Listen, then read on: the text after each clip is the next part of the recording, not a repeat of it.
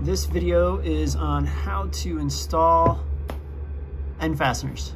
So this little guy is an end fastener. It consists of a three quarter inch screw and this little collar with a tab on it. To assemble it, you literally just drop the screw through the top so the tab is pointing down.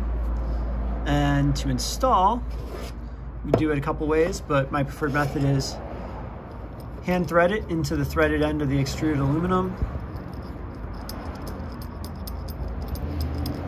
Not entirely, but just part way. So it's sticking out like that. You're gonna want the tab out, not totally set into the uh, channel. And find the other piece you're attaching, find the hole, that's the access hole for that screw head.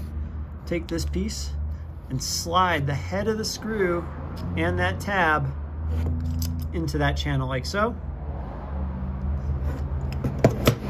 Lay it down flat. Insert your 5 seconds driver through that hole to find the screw head and just tighten that up and you're done. If you're uh, creating a lid and installing a panel inside, you're gonna wanna make sure that that little alignment tab is on the outside of the connection, not on the inside, or else your panel's not gonna fit.